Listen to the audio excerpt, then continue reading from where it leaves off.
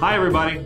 I'm John Watson. And I'm Arnie Jorgensen. Today, we're very excited to announce that we're returning to Kickstarter, where it all began, for the epic conclusion to the series we set out to create with you almost five years ago Banner Saga 3.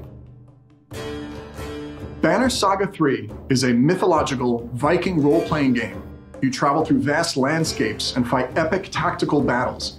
The saga centers on mature, evolving storylines where the lives of your clansmen and families really do depend on the decisions that you make.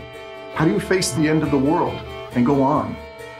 This is the third and final piece of the long awaited Banner Saga trilogy.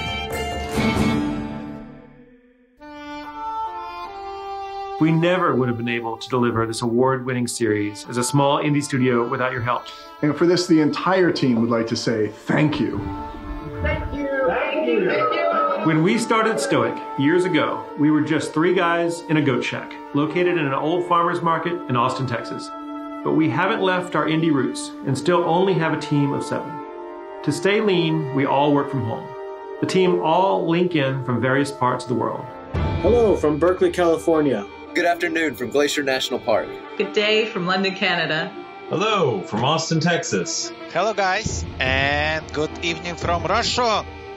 For the original Banner Saga Kickstarter, we set out to make an epic mythical world with impactful story choices in a genre we've always loved turn based tactical strategy. Imagine our surprise when you blasted the roof off our original goal and supported this work many times more than we asked. In fact, every extra penny we got went straight into the game and even helped us make the sequel. Now, here we are five years later, and Banner Saga has captured the imagination of millions of fantasy fans, gamers, musicians, and patrons of art, winning a myriad of awards in the process.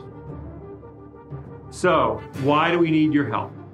As you can see, we're still solidly indie, and although we've got a great partner in our publisher, Versus Evil, we're still not taking any outside funding to make this final piece of the series. To produce a game of this quality will not be cheap. We'd love more cutscenes, more animations, boss fights, and basically more time to do it right the award winning skill of Kpow Audio in Australia, who brought so much to the mood and ambiance of the game. The voiceover work that adds that legitimate Nordic flavor from the best in the business, Sýrland over in Iceland.